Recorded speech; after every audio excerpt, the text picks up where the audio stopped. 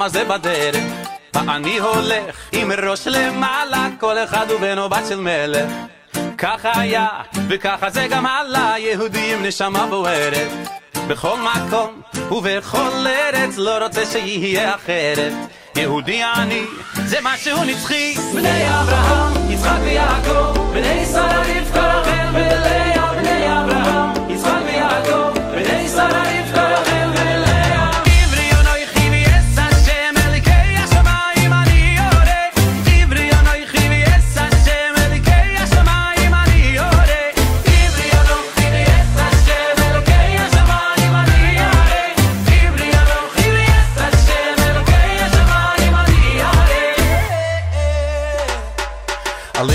history I've been through.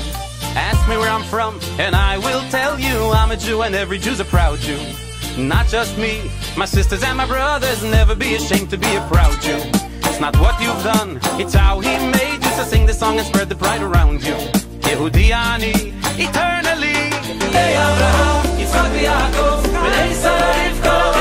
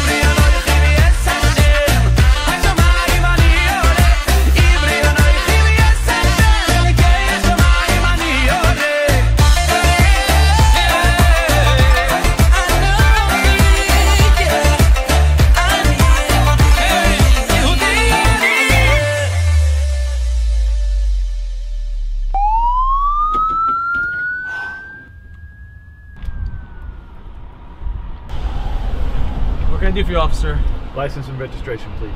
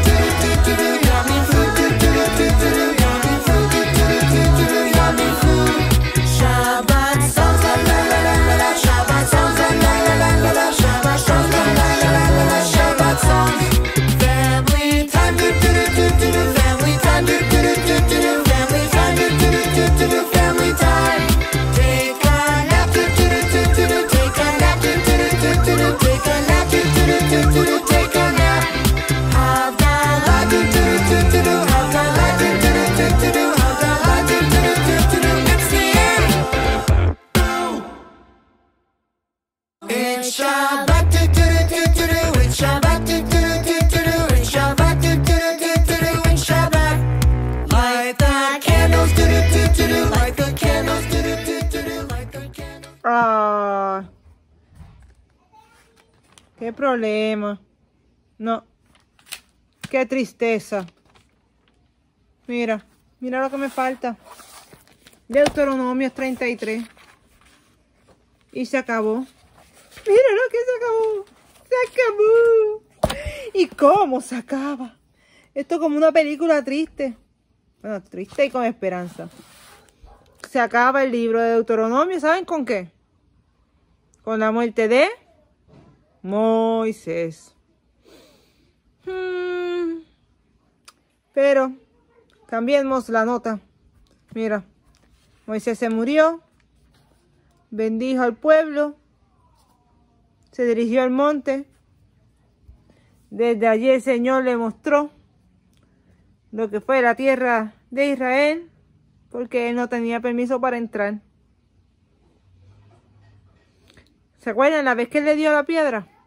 Ahí se ganó el castigo y no podía entrar. Le dijeron que no podía entrar a la tierra prometida. Ni él ni Aarón. Y mira, ya estaban ahí, a puntito de entrar, y no pudo entrar Moisés. Ah, después de tanto trabajo y tanto esfuerzo. Por lo menos subió al monte y pudo ver la tierra. Pero, ah, después de tanto trabajo y tanto esfuerzo, no pudo entrar. Hmm.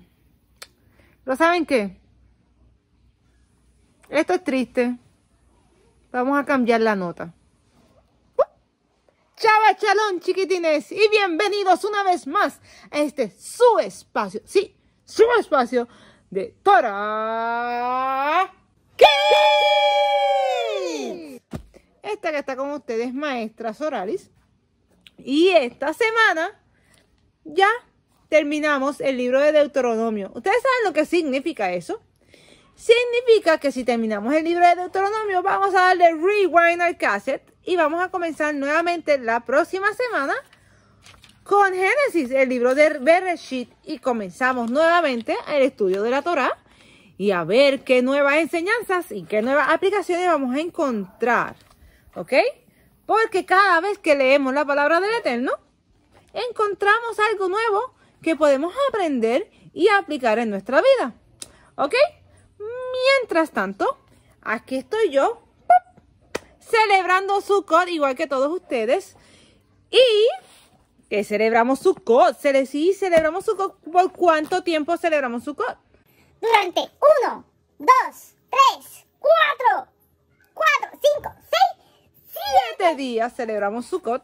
Y habitamos en, en sucas, en viviendas temporeras. Tal vez una caseta de campaña, tal vez en la sala, en el balcón, en la terraza. Y hacemos conmemoración y recordamos cuando el pueblo de Israel estuvo caminando, mira, todo este tiempo durante el desierto, que salieron de Egipto hasta la tierra de Canaán. Y recordamos que a pesar de que estuvieron allí 40 años, no estuvieron en el desierto por siempre. Fue temporero y recibieron al final la bendición de llegar a la tierra prometida. Y esa es nuestra esperanza, de que estamos aquí en este mundo, este planeta, y estamos viviendo nuestra vida de manera que agrade al Eterno, pero reconocemos que esto es temporero y pasajero. En algún momento vamos a morir y en algún momento también va a llegar Yeshua y va a venir a restaurar y hacer todas las cosas nuevas y entonces es que esto va a ponerse bueno e interesante. ¿Ok? Porque todo va a ser restaurado al plan original que fue establecido en Génesis. Que por eso que también que tenemos que volver a estudiar Génesis. Tenemos que decir, pero espérate, maestra Solari se pasa hablando de lo que era el plan original. Pues vamos a hablar del plan original nuevamente. ¿Ok? Así que tenemos que terminamos el traye la trayectoria del pueblo de Israel en el desierto mientras celebramos la fiesta de Sukkot y recordamos que el Eterno es nuestro proveedor, que el Eterno siempre está con nosotros y nos acompaña en cada uno de nuestros pasos y nunca nos deja solo ni nos desampara.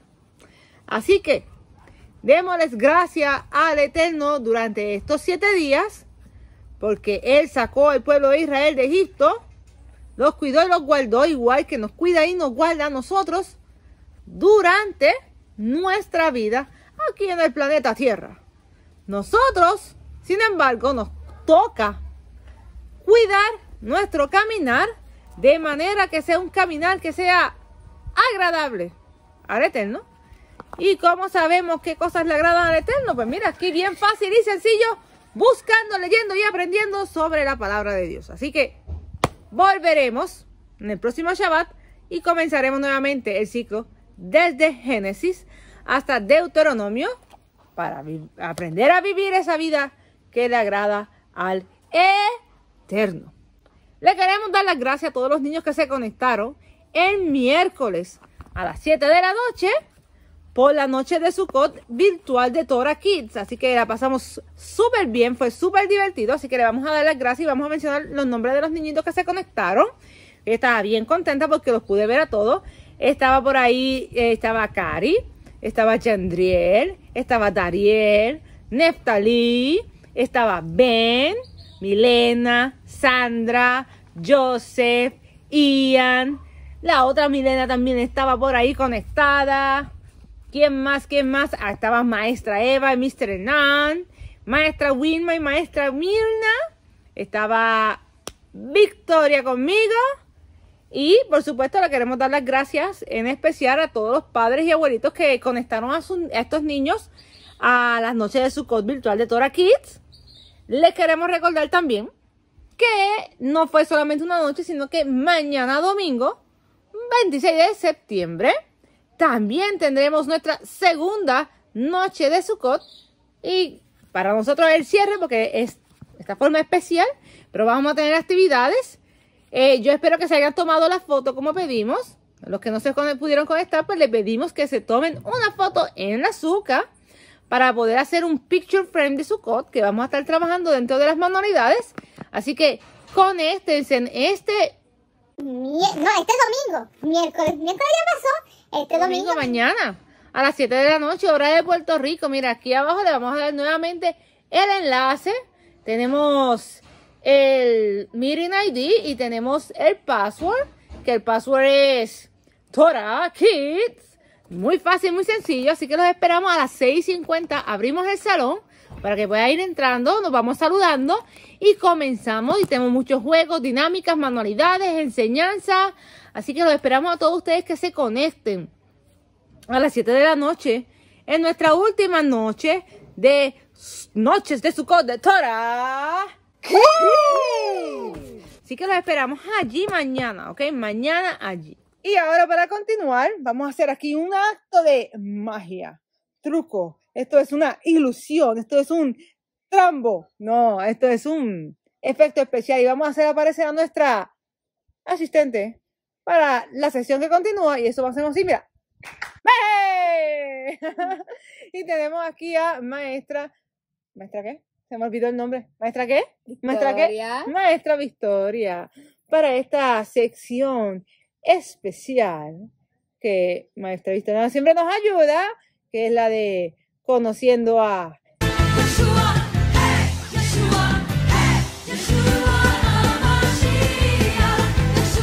¡Epa! Muy bien. Yo sé que ya ustedes están danzando esa parte allí en, en sus casitas. Vamos a comenzar rápidamente, maestra Victoria, con la lectura de hoy, por supuesto, como cada Shabbat, gracias al auspicio de la Acción. y eh, cuéntanos, maestra Victoria, ¿cómo se llama la, la lectura de hoy? La lectura de hoy se llama Lecciones difíciles. Lecciones difíciles. Eso Pues, eso tiene que ser de matemática obligado. ¿Verdad que sí? Vamos a ver. A ver, las lecciones de matemáticas son difíciles, pero aquí hay otro tipo de lecciones y vamos a aprender. En, ¿Dónde, maestra Victoria? Para yo buscarlo. Yo quiero buscarlo en la Biblia también. ¿Dónde? Lo voy a encontrar en Mateo 18 Ujú. y Juan capítulo 7, versículo 11 hasta el capítulo 8, versículo 59. ¿El de Mateo 18 qué? 18. Ah, el 18. Uh, lo encontré. ¿Y cuál es el otro? Juan. 7, 11 al capítulo 8, verso 59. Mira, lo encontré. Muy bien. Dale, yo te sigo por aquí por la Biblia, tú lees por allá. Vamos a ver de qué trata este relato porque fue verdadero que pasó. Más tarde, camino a Capernaum, los discípulos discuten entre Más tarde, camino a Capernaum, los discípulos discuten entre sí cuál de ellos es el más importante. Espero ser el que se siente junto a Yeshua en el cielo. Mira, ver, eh, a preguntar, ¿cuál será el favorito? Hmm. Yeshua alcanza a oír la discusión de los discípulos y se da cuenta de que piensan que el cielo funciona igual que la tierra. Decide que es hora de darles una demostración para ayudarles a entender más acerca del reino de Dios. Yeshua llama a un niño. Hmm, un niño. ¿Por qué llamar a un niño? Vamos a ver. Ustedes deben volverse como los niños pequeños. Si no lo hacen, no entrarán al reino de los cielos. Ustedes deben ser tan confiados e inocentes como este niño. Den en mi nombre la bienvenida a los pequeños como este. ¿Vieron eso?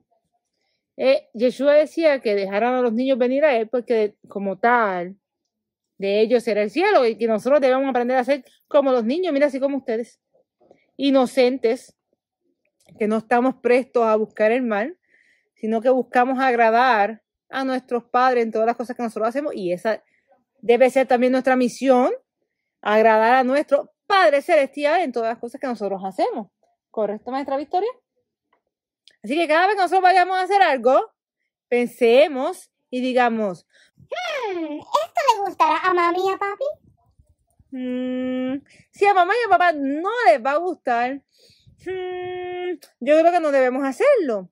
La otra pregunta que nos debemos hacer es, ¿le agradará esto a nuestro Padre Celestial, a Jehová?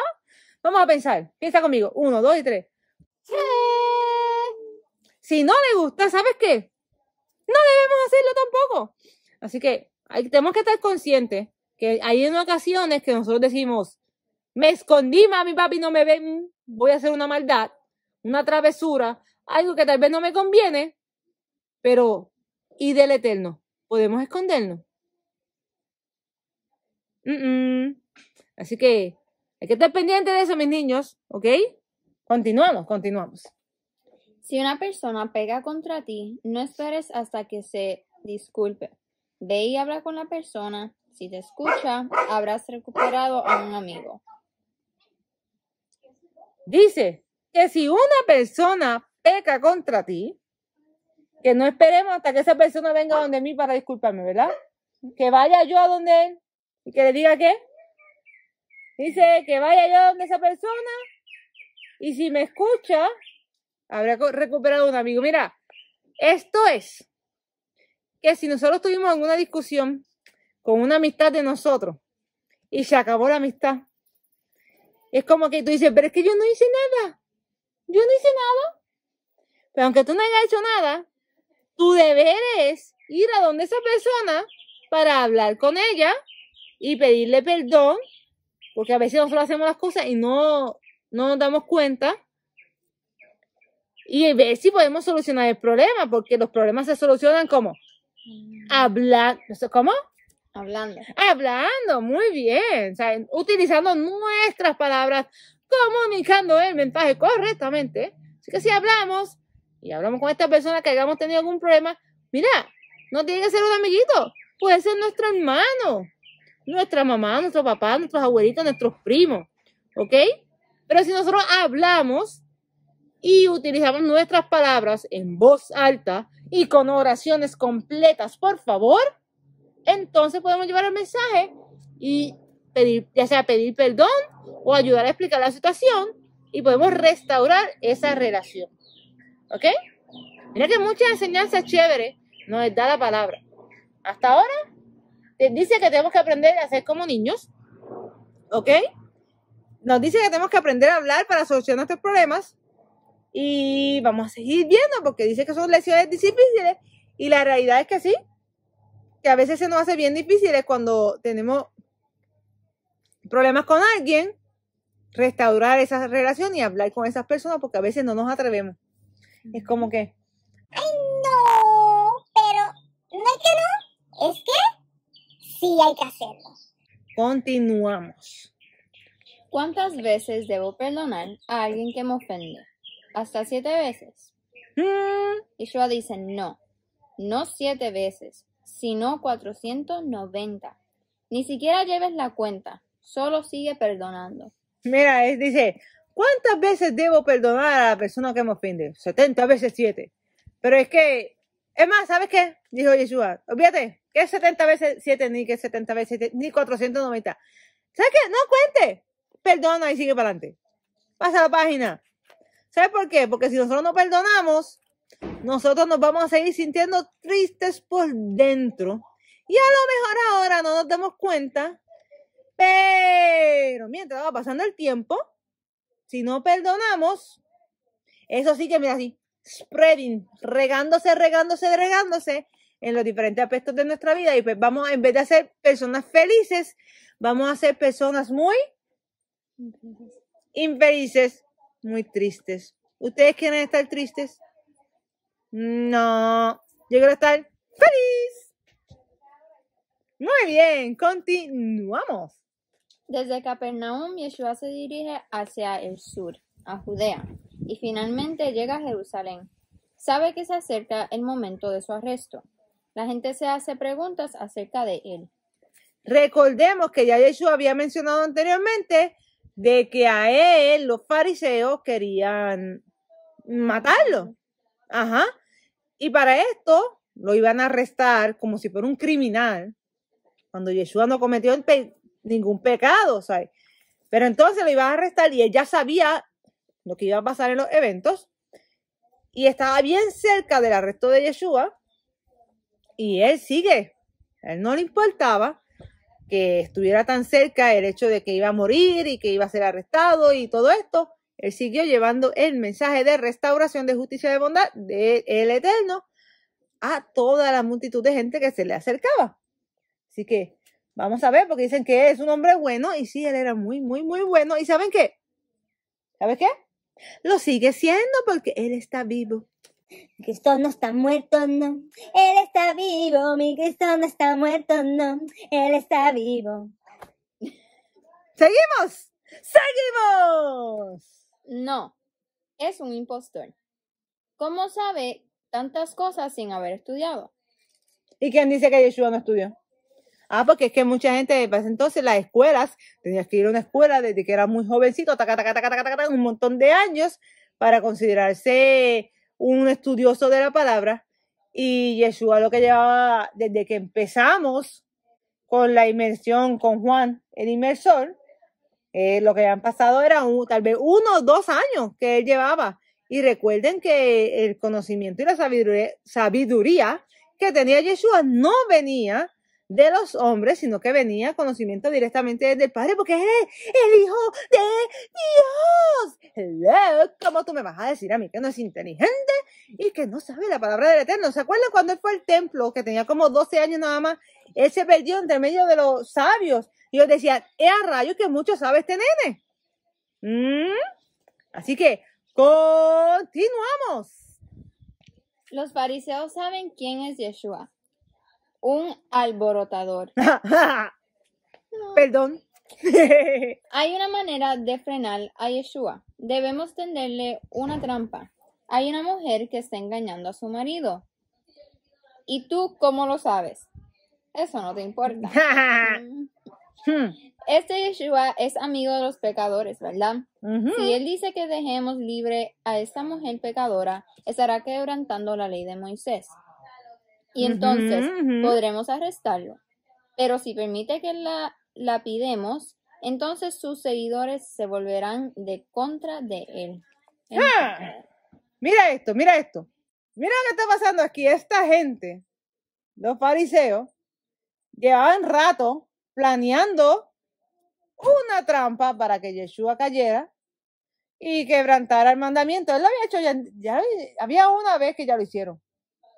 Hubo una ocasión anteriormente de las clases que nosotros dimos que le presentaron una trampa a ver si caía. No me recuerdo cuál era. Mira a ver mis victorias. Si tú lo encuentras por ahí, vamos a marcar el libro.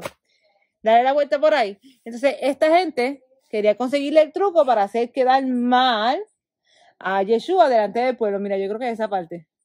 Chiquita, a ver. Y entonces quería entenderle trampas. ¿La encontraste? ¿Qué dice? Las manos pueden estar Yeshua. Ah, la parte, mira, esa clase le tocó a maestra de historia cuando habla de, de que los fariseos decían, ah, no, que tus discípulos que no se lavan las manos, que qué sucios son, pero no se trataba de eso porque habíamos dicho que había muchos mandamientos extra que ellos habían puesto. Pues como esa trampa no cayó, Yeshua hizo y se la batió fuera del parque, le estaban poniendo una que fuera más complicada, una que fuera directamente relacionado con los mandamientos que Moisés había escrito y no con los mandamientos extras que ellos tenían. Porque ya se dieron cuenta que él no le importaba la cuestión de los extras. Él venía a cumplir los mandamientos que se dieron allá en el monte Sinai. Y entonces le, iban a tirar un truco con una mujer que aparente y alega- alegadamente, porque yo no estaba allí, tú estabas allí. Eh, supuestamente ella estaba siendo infiel a su esposo, estaba cometiendo adulterio y sabemos que uno de los mandamientos es no cometer adulterio. Y dijeron, vamos a ver qué va a hacer aquí. Porque como él es tan amigo de los pecadores, si se alinea con ella, sabemos que es un falso. No, el castigo para ese entonces era apedrearlo, coger piedra y tirarle piedra a la persona. Ese era el castigo bien fuerte. Había muchos castigos así que eran bien, bien fuertes para ese entonces. Vamos a ver qué pasó. A la mañana siguiente, Yeshua está enseñando en la entrada del templo. Él dice, si ustedes me conocen, entonces conocen la verdad. Y la verdad los hará maestro. ¿Cómo? Que no lo dejaron terminar de hablar. ¿Qué falta de respeto es esa, oye? Ajá. Esta mujer ha sido encontrada en el mismo acto de adulterio. La ley de Moisés dice que debe ser apedreada hasta morir. ¿Qué dices tú? Hmm. ¿Qué dijo Yeshua? Vamos a ver, vamos a ver qué dijo Yeshua. Por un momento, Yeshua ignora la interrupción de los fariseos y escribe en el suelo con el dedo. Y bien, ¿cuál es su respuesta? Cualquiera de ustedes que nunca haya pecado puede arrojar la primera piedra. Yeshua acaba de hacerlos caer en su propia trampa. Ninguno de ellos puede fingir no haber pecado nunca. Uno tras otro los fariseos dejan caer sus piedras y se deslizan alejándose de la multitud. Mujer, ¿quién te acusa? Pues, creo que nadie. Yo tampoco te acuso. Ve en paz, pero no peques más. Mm. So, cuando llegó el momento de la verdad de apedrear a la mujer, Yeshua dijo, bueno, vamos a hacer algo. El que dentro de ustedes no haya cometido pecado alguno, vaya, que sea el primero en lanzar la piedra. Yo creo que ahí el único que podía haber lanzado piedra fue Yeshua, que él no había cometido, pecado alguno y no lo hizo. ¿Ok? Recuerden que Yeshua vino a traer redención. Y lo importante de esto es que cuando Yeshua oto- otorgaba el perdón, le decía, o sea, tus pecados son perdonados, vete y no peques más. So, la intención era que la persona recibiera redención, sus pecados fueran perdonados, pero que no volvieran a repetirlos. Así que vamos a ver cómo termina esta historia. Ahora los fariseos y los sacerdotes están más que decididos que nunca van a detener a Yeshua. Todo el que crea que Yeshua es el Mesías debe ser expulsado de la sinagoga. Hmm. Tenemos que arrestar pronto a Yeshua antes que haya más gente segura de que Él es el Salvador. Yeshua es demasiado popular para ser arrestado. Los sacerdotes tienen temor de provocar un problema mientras la ciudad esté llena de gente que asista a la fiesta. Hasta que un día Yeshua dice, vengo a traer la gloria de Dios. Yo estaba con Dios aún antes de los días de Abraham. ¿Cómo se atreve a fingir que conoce a Dios de esa manera? Imagínate que dice que yo estaba con Dios desde antes de Abraham, pero si es que Yeshua apenas tenía como 31, 32 años, voy a para 33 y tú me vas a decir que tú estabas desde antes de Abraham, que eso había pasado hace miles, miles, miles, miles de años atrás. Y le dicen, ¿cómo va a ser? Qué mentiroso tú eres. Tú no pudiste haber estado para ese, para ese tiempo, para ese entonces. Jamás. Apedrenlo, aprendrelo. ¡Apedrelo! ¡Zúmbale con la piedra, castígalo! Los fariseos levantan piedras para arrojárselas a Yeshua, pero él desaparece de la vista de ellos. Algo así como yo hice aparecer a Maestra Victoria ahorita.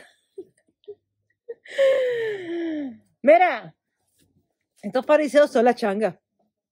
No se dan por vencidos. O sea, ellos decían, tenemos que buscar la forma de arrestarlo. No podemos hacerlo durante el día. Porque la gente lo sigue y se puede formar un tremendo revolú. que Porque la gente lo va a defender. Así que tenemos que buscar algo. Y de repente Yeshua sale y dice que él estaba desde los tiempos de Abraham. Y dicen, embustes son. ¿Cómo va a ser? Es más, ¿sabes qué? Vamos a apedrear a este tipo. Ustedes lo querían ver muerto. Esa es la realidad. Pero, pero, ¿qué pasará? Tum, tum, tum, tum. Pues yo no sé qué pasará todavía. Bueno, ya sabemos lo que va a pasar, pero ustedes no lo saben todavía. Y vamos a continuar con esta lectura cada Shabbat. Así que no se retiren, no se despeguen de aquí del canal de Torah Kids y seguimos aprendiendo con las enseñanzas y ahora seguimos con la clase de los chicos más grandes. Y mientras nosotros nos despedimos de esta, una de sus secciones favoritas, que yo no sé, ¿tu sección favorita? ¿Eh? La mía también. Oh, yeah. Que es conociendo a...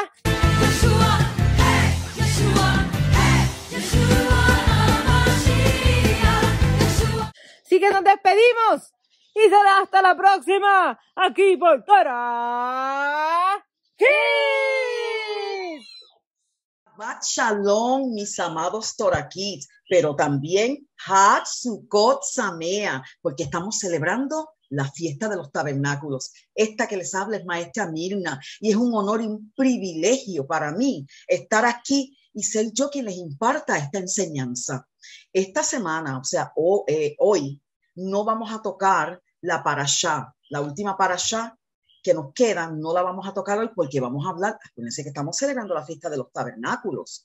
Así que vamos a hablar de esas tres fiestas que están conectadas y son tres fiestas de regocijo, es alegría, es algo tan hermoso. Bueno, miren las caras de estos jovencitos cargando lo- los rollos de la Torá, miren aquellos allá atrás todos unidos, rodeando la Torá, es regocijo, es fiesta. Así que vamos a continuar. Ah, pero miren a quién tenemos aquí y miren dónde está. Miren dónde, dónde está Leo. Leo está en un tabernáculo, en una azúcar. Leo, hola. Leo quiere enviarle saluditos especiales a todos los Toraquis. Aquí Cristóbal y Tiago, a Ian, Joseph y Milena, a Isaac y Missy, a Samuel Pinto, a Mía, a Sandra y Milenita, a Kiarianda, a Cari Angelis y Yandriel, a Nestalí y a Dariel. Y a medida que ustedes continúen enviándonos sus nombres, pueden decir nombre y de qué país son. Y si quieren poner la edad también, perfecto. Y nosotros vamos a ir añadiendo hasta que esa lista, mira, hasta que llenemos ese slide completo, sea de nombres nada más. Así que yo voy a esperar en ustedes. Así que miren ahí a Leo saludándonos desde el azúcar y miren aquí al lado, ahí tienen lo que llaman el lulav, ¿verdad? Que tiene el etrog, tiene el sauce, tiene la palmera y tiene el mirto. Así que vamos a continuar. Y antes, eso es lo primero que hacemos después de saludar, es bendecir la Torá. Recuerden que la Torá es la palabra viva de nuestro rey. Así que con mucha reverencia, con mucho respeto, ustedes se ponen de pie, yo me quedo sentada, nos inclinamos y bendecimos la Torá.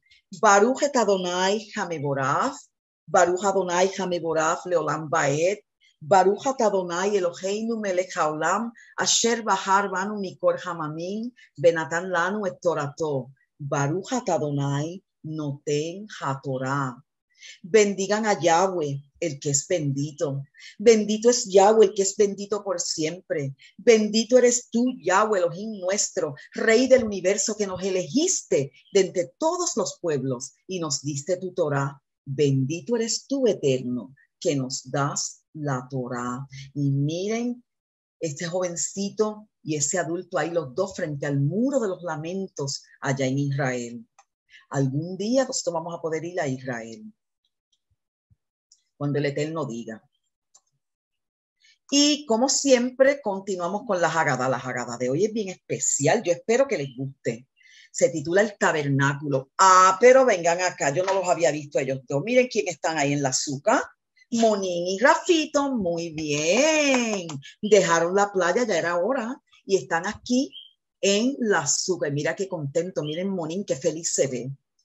Así que vamos a ver, quiero que estén bien atentos y se lo disfruten. Es un videíto, es, es virtual en tercera dimensión y van a ver qué preciosidad. Vamos a ver si ustedes reconocen en las partes del tabernáculo. Ok.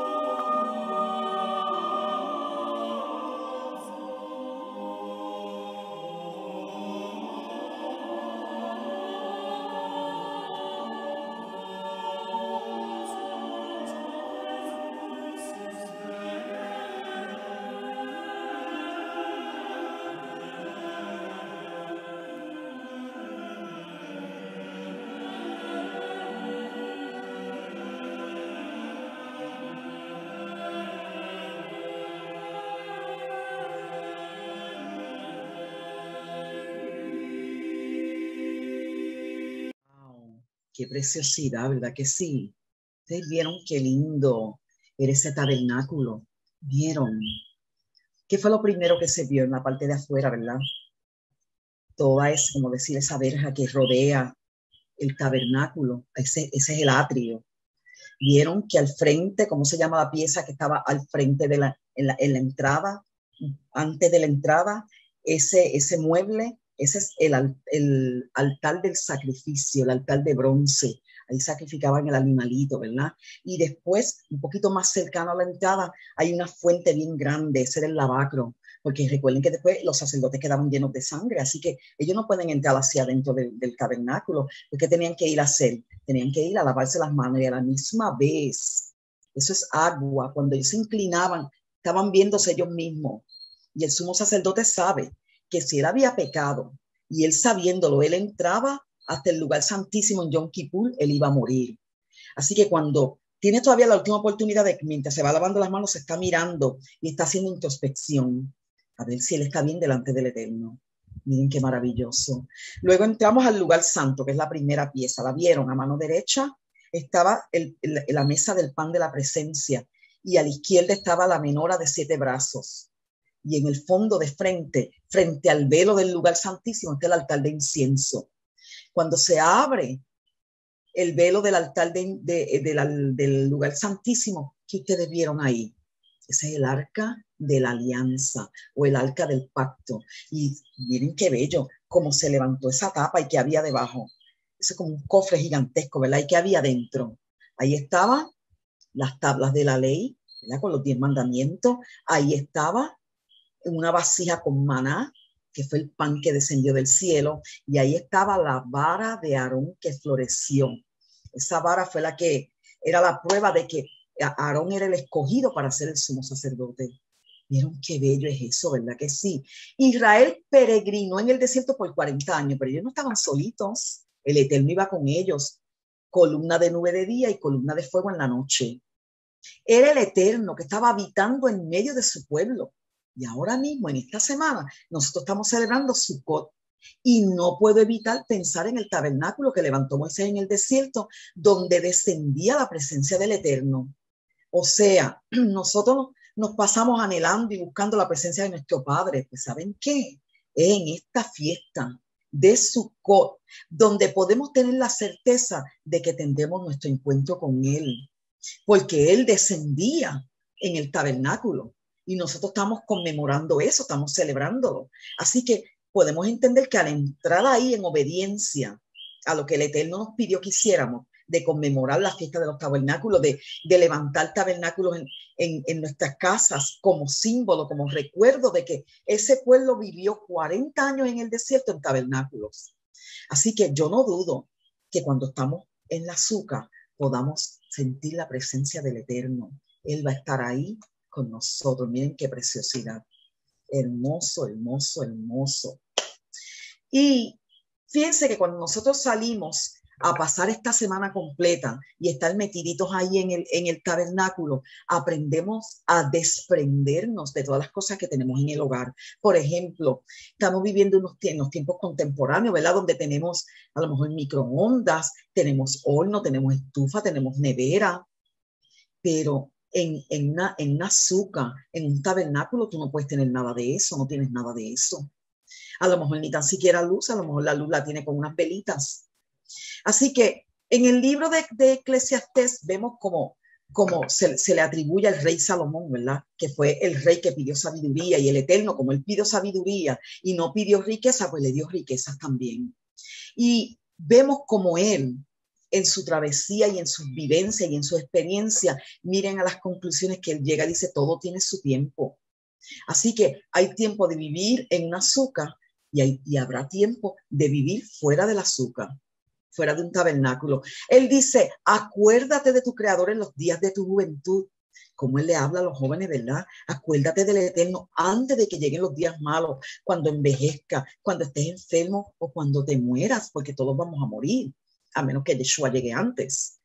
Así que le dice, acuérdate de tu creador y lo más importante, teme a Yahweh y guarda sus mandamientos. Él sabe y él tiene que haber experimentado en carne propia lo que es el desobedecer, porque perfecto no era y cometió muchos errores. Así que él tiene que haber sentido en él lo que era desobedecer al Eterno. Así que entonces llega a la conclusión que lo que tenemos que hacer es temer, o sea, obedecer a Yahweh y guardar sus mandamientos. Y miren este pensamiento hermoso, el autor es desconocido, pero me gustó mucho porque dije, wow, aprende a darle tiempo al tiempo, a esperar el momento, todo llega cuando tiene que llegar, porque le pedimos al Eterno y queremos que eso sea ya, que eso sea hoy. No, no sabemos esperar, pero mira, aprende a darle tiempo al tiempo a esperar. Espera en Él que Él hará. Y lo que Él te ha prometido, Él lo va a cumplir, porque las promesas del Eterno son en el sí y son en el Amén. Sea bendito su nombre por siempre. Así que vivir en tabernáculos es saber que tú te estás desprendiendo de toda cosa material, porque tú te vas a vivir en una azúcar bien humilde. Así que vamos a ver. Ok.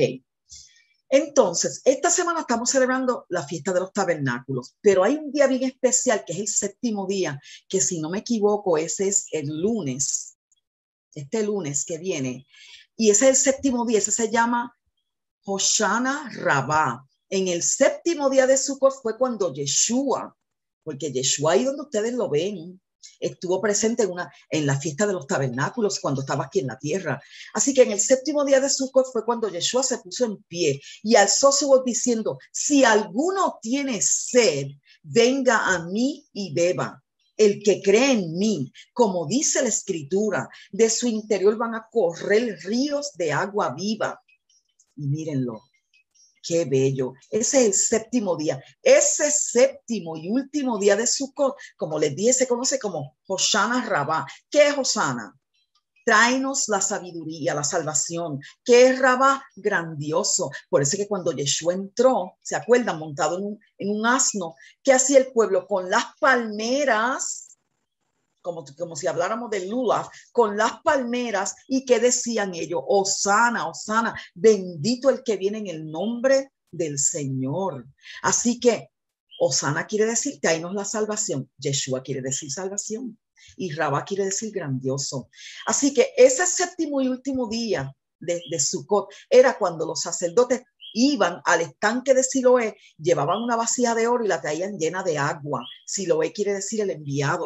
Mientras el pueblo, mientras ellos hacían eso, el pueblo estaba danzando, estaban cantando, se estaban regocijando y estaban recitando a Isaías 12:3. ¿Qué dice Isaías capítulo 12, verso 3? Sacaréis agua de las fuentes de la salvación. Qué cosa más preciosa. Entonces, cuando ellos traían esa agua, ellos entraban por la puerta del agua y esa agua era derramada sobre el altar como una ofrenda al Eterno. Qué lindo es nuestro rey. Entonces, al otro día, el séptimo día, Hoshana Rabá, cuando Yeshua se, se puso en pie y dijo eso, pero el octavo día que también hay santa convocación y también es un Shabbat. Ese se llama Shemini Atzeret, el octavo día de la gran asamblea. Para muchos representa el Olam Haba. ¿Qué es eso? La eternidad. Cuando la fiesta de tabernáculos no va a tener fin. Se habrá levantado el tabernáculo caído de David. Adiós, ¿y cómo es eso? Sí, porque vamos a convivir como un solo pueblo, no es Judá e Israel, va a ser Israel nada más, un solo pueblo, un solo pueblo, con un solo rey, Señor, con una sola fe, una Torá, con un solo bautismo y un solo Dios y Padre. Ese es levantar el tabernáculo caído de David. Se habrá enjugado toda lágrima de nuestros ojos y la muerte. Ese es el postrer enemigo que va a ser destruido por el Eterno. No será más el tabernáculo del rey en medio de su pueblo eternamente y para siempre. Y eso es un Baruch Hashem. Aleluya. ¿Ustedes se imaginan eso? Hoy escuchamos de tsunamis, de volcanes, de terremotos y de tantas cosas horribles, de asesinatos, de violencia, de ataques. Pero cuando venga ese reinado, que retorne nuestro Yeshua Hamashiach y establezca su reinado de justicia, paz y gozo. Miren, eso es, eso es Yeshua haciendo tabernáculo con el hombre, porque Él es la imagen visible de nuestro Padre. Así que Él viene a hacer tabernáculo, a convivir, a vivir en medio de su pueblo. Eso no era lo que, había sucedido en el desierto. ¿Dónde estaba, ¿Dónde estaba el tabernáculo? En el mismo medio y alrededor estaban todas las tribus, las del norte, las del este, las del oeste y las del sur. Y estaban ahí este, acomodadas, bien organizadas, porque había un orden precioso, todas las doce tribus, con toda su descendencia. Era el Eterno conviviendo en medio de su pueblo. Miren, esto es una fiesta profética, eso es lo que va a suceder. que viene Yeshua a convivir con su pueblo. Le veremos panín a panín, cara a cara. Y después, al día siguiente del octavo día, viene lo que se conoce como Simha Torah. Eso quiere decir el regocijo de la Torah. Miren esos ojos hermosos de esos dos jovencitos. Nos regocijamos con la Torah escrita, la palabra de nuestro rey, sabiendo que un día el verbo se hizo carne y habitó entre nosotros, haciendo tabernáculo con el hombre.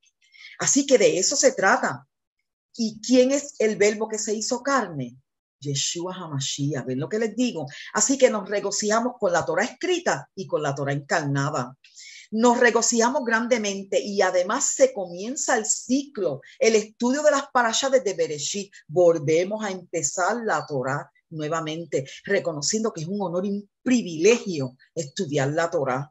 Nosotros somos privilegiados de que la Torah nos haya alcanzado, nosotros que estábamos lejos, nosotros no nacimos en Israel, estábamos bien lejos. Es, es un honor y un privilegio que nos alcanzó a nosotros, los que no éramos parte del pueblo, pero ahora somos la rama silvestre injertada en el árbol de olivo.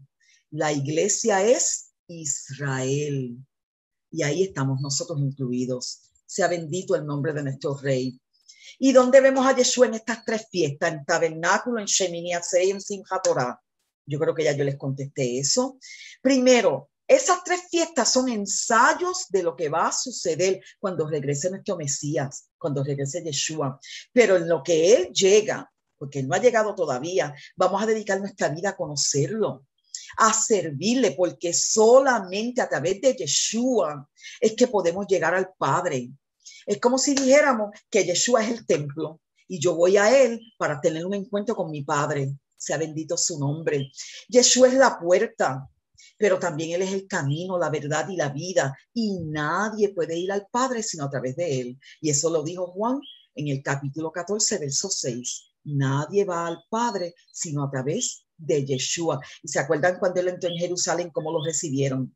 Como se recibe a un rey, agitando las, palmas, las ramas de palma, qué bello, y él montado humilde sobre un burrito. Recuerden que quién es, de quién, a quién representa ese burrito, ese asno, a la tribu de Efraín. Ahí estamos nosotros. Y él está montado sobre la tribu de Efraín. Sea bendito el nombre de nuestro rey, qué preciosidad. Yeshua también es la ofrenda perfecta del sacrificio. Él es el que sacia nuestra sed. Él es nuestro redentor porque nos redimió pagando con precio de sangre por nuestro rescate. Es nuestro salvador. Él es nuestra luz. Él es la Torah encarnada y fue el único que obedeció los mandamientos. Por eso es que decimos que Él es el objetivo de la ley, el único que los pudo cumplir. Aleluya. Y hasta aquí llegamos con esta enseñanza. Espero que con esto ¿verdad? tengan un poquito más claro lo, que significa y lo que implica celebrar la fiesta de los tabernáculos, celebrar el Shemini Atzeret, que es el octavo día, el gran, ese gran día, ese esa es la asamblea del octavo día, una preciosidad. Y el Simchat Torah, que es el regocijo, abrazar la Torah. Hemos llegado al final y yo quiero darle las gracias a todos los Torah teachers y a los Torah kids que estuvieron ahí conectaditos y a todos los Torah teachers. Miren, miren al Minion, contentito, también está en la azúcar. Y entonces vamos a dar las gracias a todos esos maestros bellos y preciosos. Miren, a maestra Unis, maestra Eva, maestro Hernán, maestra Victoria, maestra Soralis, a maestra Maleni, a maestra Wilma.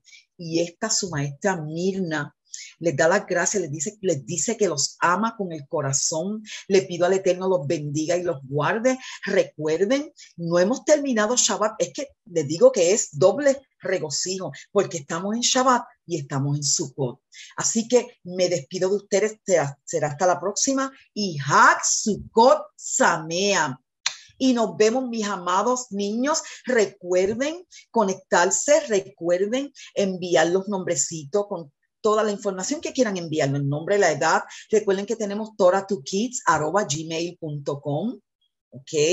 Y nos buscan Torah Kids, los Torah Kids de Catedral de la Fe en Caguas, Puerto Rico. Y me despido, ahora sí que me despido de ustedes. Los amo en el amor de Yeshua. Hag Samea Sukkot y Shabbat Shalom. Hasta la próxima. Bye. Bye, mis amados niños mucho. Shalom. Bye. Mis amados niños, hemos llegado a la parte final.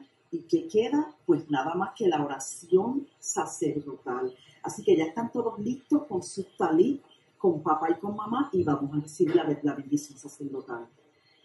Llevaré jeja Adonai de Ishmereja. Yael Adonai panabeleja bijuneja. Isa Adonai panafeleja Shalom.